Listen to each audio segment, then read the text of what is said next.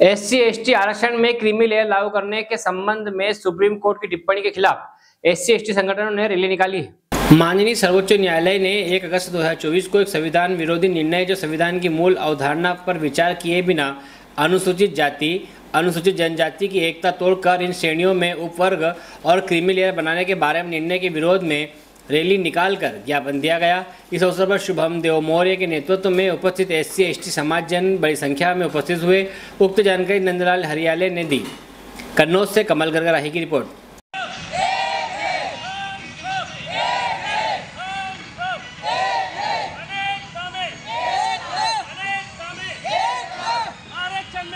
वापस वापस वापस